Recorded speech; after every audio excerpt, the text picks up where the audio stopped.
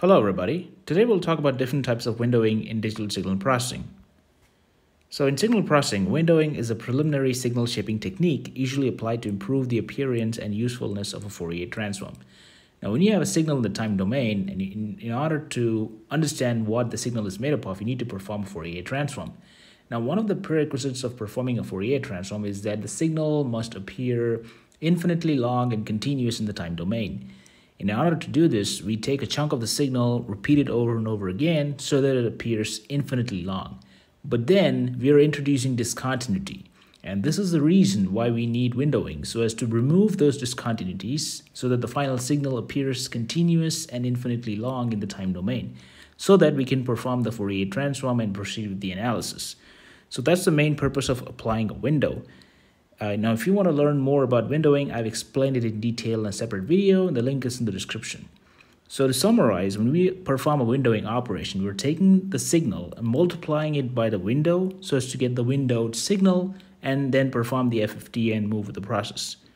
There are different types of window, but there's no one size fits for all windows, so it depends on the application. So when you perform a window, you know, it leads to the main lobe and side lobes. Now, ideally, we want the main lobe to be as thin as possible and to have no side lobes at all.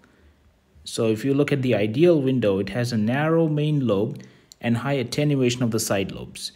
Now, when you have a main lobe, the main lobe should not compromise the amplitude of the signal, should capture the exact signal, uh, the exact amplitude of the signal, and when you don't have side lobes, you're minimizing or eliminating spectral leakage. So if there is no spectral leakage, which means the actual spectra that you see is you know reflecting what the signal is actually made up of. If you're going to have spectral leakage, it'll give misleading information about the signal. So there are different types of window. First, let's start with the uniform window.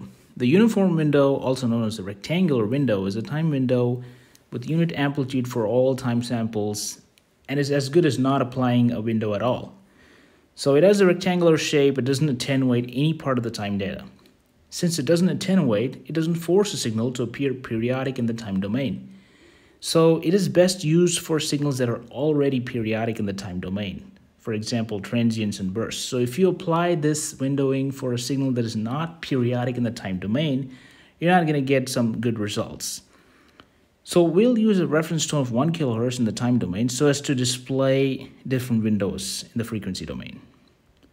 So this is a uniform window shape or the rectangular window and this is how it looks like. If it has been applied on a non-periodic signal then you can see that there is this uh, main lobe which captures the 1 kHz but there is really bad uh, you know spectral leakage because there are too many side lobes here. Next is a Hann window. Hann window named after Julius von Hann. Some software referred to as Hanning window. The Hann window attenuates the input signal at both ends, so it forces the signal to appear periodic in the time domain. Also, it ensures that the signal is continuous in the time domain because the endpoints are attenuated. The Hann window offers good frequency resolution, reduced spectral leakage, but at the expense of some amplitude accuracy. So there is minor amplitude errors due to the shape of the window. It's commonly used for broadband signals, just random noise. So this is a Hann window. If you compare this with the rectangular window, it's much better because you know it has reduced the spectral leakage drastically and it's also capturing the 1 kilohertz, but there is some minor amplitude error at the top. The next is a Hamming window. Hamming window is proposed by Richard Hamming. The endpoints of this window does not touch zero, so there is slight discontinuity in the signal. Now, in comparison to Hann window, the endpoints touch zero and there is no discontinuity at all. Now, however, Hamming window does have an advantage and disadvantage. The advantage is that the first side lobe of the Hann window is cancelled, but the spectral leakage is higher than the Hann window. So this is how a Hamming window looks like you do see that when compare in comparing this to the Hann window, the spectral leakage is higher. The next is a Blackman window. The Blackman window has a wider main lobe compared to Hann and Hamming, but it has better side lobe attenuation compared to Hann and Hamming. The next is a Blackman Harris window. It is a generalization of the Hamming family.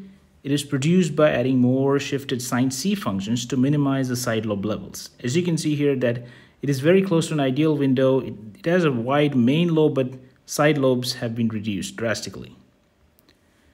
So to conclude, all windows trade off two competing goals, is having a narrow main lobe and high attenuation of the side lobes. And every window has advantages and disadvantages. So choose a window as per the application so as to best represent the acquired signal. Alright, thank you for watching this video. I hope you enjoyed it. Have a great day.